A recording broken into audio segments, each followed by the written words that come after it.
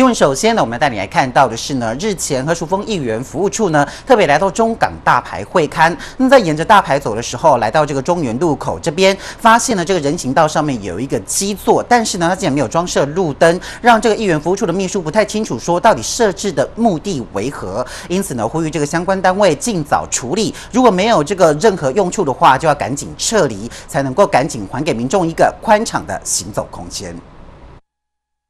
沿着中港大排走着，竟发现，在中原路口附近有一基座没架设路灯，让议员不清楚设置目的，所以请相关单位赶紧处理。若没有用处，应及早撤离，还给民众一个宽敞的行走空间。是我们行人走道上，大家可以看到这个基座的部分。这个基座呢，其实是呃目前研判是路灯的基座，那是我由我们公所所管辖的。那议员。服务处这边希望说，如果这个路灯基座是有用错的话，那可能我们就把它来建制完备，建制来更完整一点。那如果说这个基座呢是没有作用的话，那我们可能就会希望说把它移除，因为毕竟这个基座在我们的呃下坡路段，其实对我对于我们这个轮椅族以及我们的这些妈妈，嗯需要推轮椅的这些人来说，其实是非常的危险以及不方便的。因为我们可以看到，其实它螺丝钉还蛮高的，上然后上面又有一些螺丝的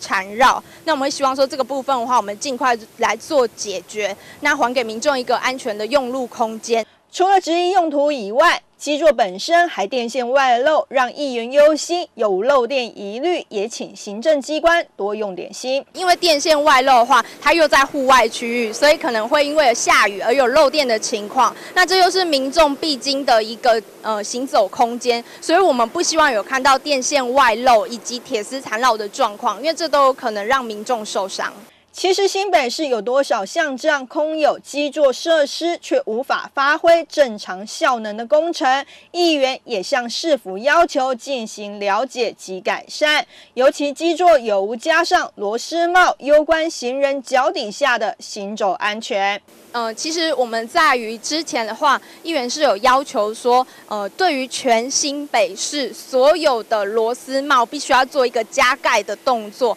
那目前加盖的呃整体的完善度，其实已经将近有。呃，大概七八成左右，所以我们希望说这样一个状况的话，不要再发生在我们的新北市，因为民众可能经过的时候会不小心的踢到或踩到，其实会造成受伤。那我们不希望有这样子的情况发生。新北市政府一直在推行友善的行走空间，以及大量设置无障碍环境。若因为一小处没有立即改善而换来民众的诟病，不止抹杀了市府团队的用心，更打击了同仁的信心。所以，像这样的小缺失，相信市府会赶紧动起来，加强改进。记者新庄采访报道。